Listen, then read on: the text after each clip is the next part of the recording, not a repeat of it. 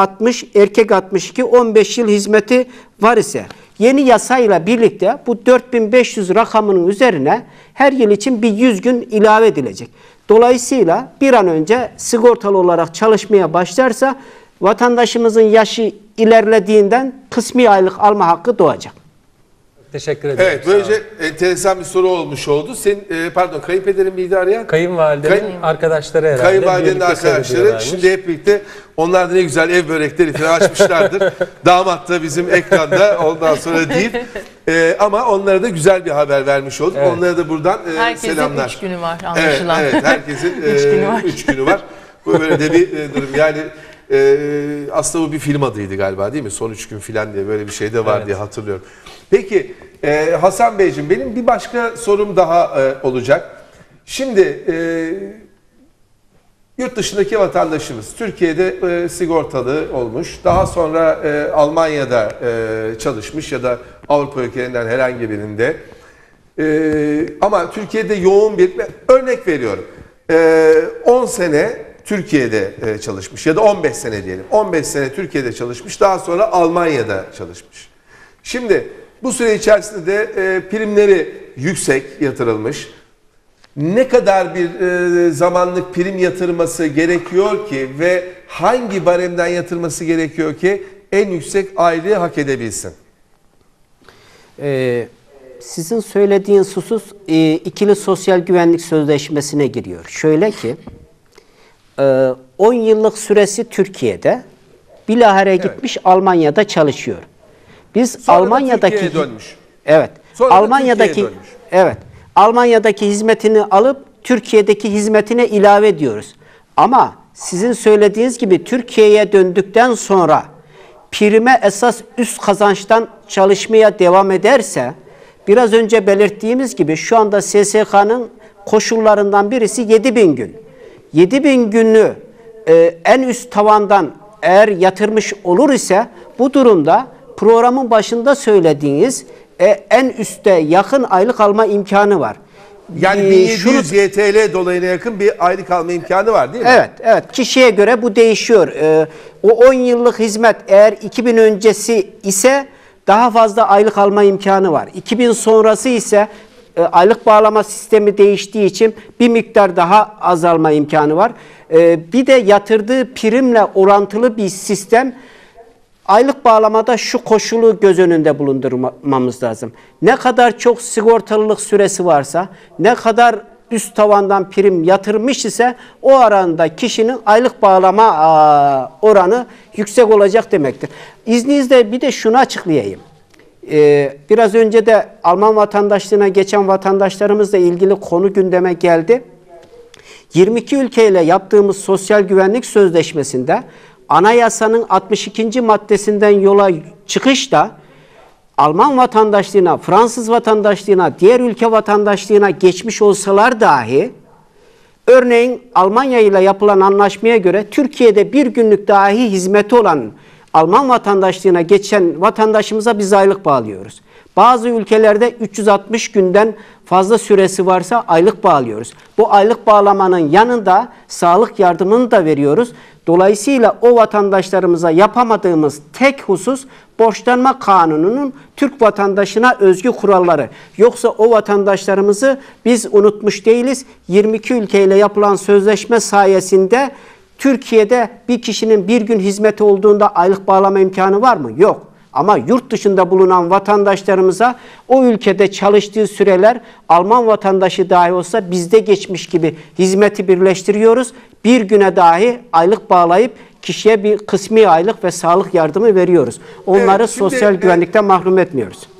Evet Hasan Bey teşekkürler. Ee, Almanya'dan Hasan Kayaalp var ama ben yine bu konuyla ilgili olarak e, hızlıca yanıtlamanız ricasıyla e, bir soru daha yöneltmek istiyorum.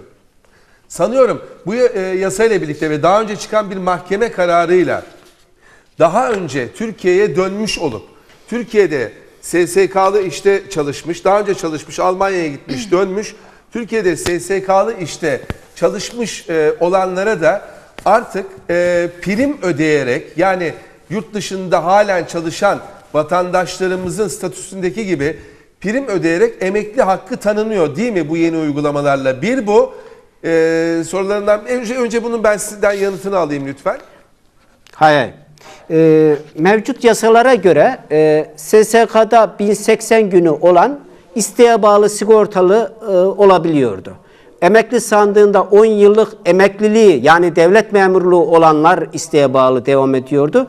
Bağkur'da ise bir sınırlama yoktu. Yeni yasayla birlikte kişilerin sigortalılık sürelerine bakmaksızın hiç sigortalılığı dahi yoksa dışarıdan isteğe bağlı prim yatırma imkanı olacak. Bu ne demek? Şu anda en düşük 152 YTL, en fazla da 960 YTL. Kişinin e, Türk vatandaşı olması, Türkiye'de ikamet etmiş olması dışarıdan hiç çalışmadan da sanki bireysel emeklilik sistemi gibi isteğe bağlı sigortalı primi yatıracak. İstiyorsa genel sağlık sigortası kapsamında da ilave bir prim ödemek suretiyle sağlık yardımı hakkını da alacak. Mevcut yasada ise sağlık yardımı hakkı yoktu. Yani özet özetle e, bu konumda olan bir kişi Türkiye'ye daha önce kesin dönüş yapmış bir kişi e, bu yeni yasadan yararlanabiliyor ve isteğe bağlı emeklilik hakkını sağlık sigortasıyla, sağlık ya- yardımıyla birlikte aynı Türkiye'deki emeklilerin e, haklarıyla alabiliyor. Benim e, anladığım şey bu. Evet, evet, Şimdi e, başka bir soru. Bu durumda olan kişiler ya da e, yeni dönecek olan kişiler açısından sormak istiyorum. Ki bunlar bana hafta içinde gelen sorulardı. Almanya'daki ya da Avrupa'daki herhangi bir ülkedeki emekliliğini Türkiye'ye saydırmadan da yani diyor ki ben e, 63 yaşına gelince Almanya'dan emekli aylığımı alacağım. Ama benim e, Türkiye'de gitmeden önce de hizmetim vardı. Türkiye'ye döndükten sonra da hizmetim var. Ben öncelikle Türkiye'den sadece emekli olmak istiyorum. Almanya'daki sigortama dokunmasınlar. E, dediği takdirde de bu da geçerli olabiliyor mu? E, tabii ki şöyle, ikili sözleşmelere göre eğer Türkiye'deki çalışması emekliliğine yetiyorsa karşı ülkedeki hizmete biz zaten dokunmuyoruz. Hizmete dokunsak dahi vatandaşlar yanlış anlamasın. Oradaki primlerini buraya transfer etmiyoruz. Sadece o hizmet sanki Türkiye'de geçmiş gibi buradaki hizmete ilave ediliyor, prim orada kalıyor. Biz burada bir hak doğuruyoruz ama kişinin yaşı yerine geldiğinde ilgili ülkede primi durduğu için istediği zaman aylık talebinde bulunabiliyor. Dolayısıyla buradaki hizmet yetiyorsa biz zaten karşı ülkeden hizmet almamıza yani ilave etmemize ihtiyaç olmuyor. Yani oradaki çok güzel, oradaki hakkını e, öldürmemiş oluyor. Hemen Hasan Evet, Kaya Alp'in sorusuna dönüyorum. Hasan Bey merhaba, Almanya'dan arıyorsunuz herhalde. Merhabalar, Almanya'dan arıyorum evet. E, buyurun hemen sorunuzu alalım Evet, efendim. benim bir sorum olacaktı. Ee, ben hanımın adını arıyorum daha doğrusu. Buyurun, buyurun. Ee, hanımın adına y- 20 yıllık bir borçlama yaptık biz 2006'da. Ee, buradaki konsolosumuzun tavsiyeleri üzerine hepsini bi- biz Bağkur yapmıştık zamanında. Ama hanımın 86 ve 2001 yıllar arasında bir çalışmışlığı vardı. Ee, bunu nasıl düzeltebiliriz veyahut da bu herhangi ileride bir sorun olabilir mi? Evet Hasan Beyciğim e, yanıt alalım sizden. Ee, borçlanmak için iki tür yol vardı. Birisi ev kadınlığında geçen süreyi borçlanmak bir de fiilen çalışılmış süre varsa onu borçlanmak. Öncelikle fiilen çalışılan süreyi eşi borçlanmış olması lazımdı. Halbuki gitmiş e, ev kadınlığında sanki 20 yıllık süre geçmiş gibi borçlanmış. Ha, bu durumda ne olacak? E, Bağkur'un aylık bağlama sistemi de farklı, aylık bağlama e, oranı da düşük. Örneğin 407 YTL bağlıyor. Bizimkisi 558 YTL. Demek oluyor ki 407 YTL'ye razı olmuş vaziyette. E, düzeltebilmesi için o bir yıllık süreyi tekrar SSK'ya borçlanabilir. E, o SSK'daki hizmet e, Bağkur'a aktarılır. Dolayısıyla kanunun usulüne uygun davranmış olur.